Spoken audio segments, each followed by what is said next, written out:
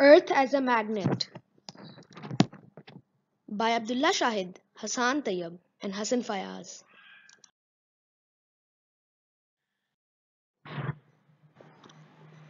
Earth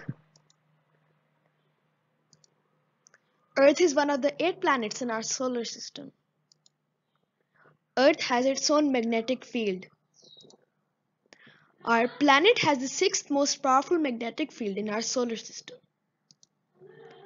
Earth's magnetic field acts with the Sun's magnetic field, producing a pushing and pulling force that makes our planet move in orbit. Earth's magnetic field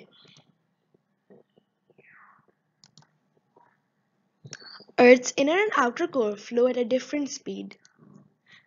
Both the cores have iron in them which are magnetic. When these both cores move, it is thought that the Earth has, its, has a large bar magnet inside it. These circumstances makes our Earth act like a magnet.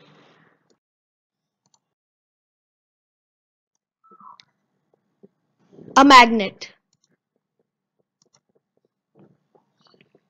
Just like any other magnet, our Earth acts the same way. It has north and south poles which act with the sun and due to this, Earth is suspended in space. In a normal magnet, magnetic waves flow from the north pole to the south pole and the same happens with the Earth.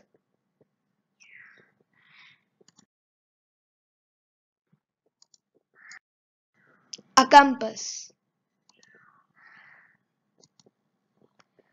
A compass is an instrument used for navigation and orientation purposes. It functions as a pointer to magnetic north, the local magnetic meridian, because the magnetized needle at its heart aligns itself with the horizontal component of the Earth's magnetic field.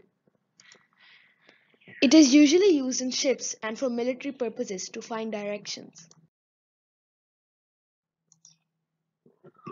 It's all for today.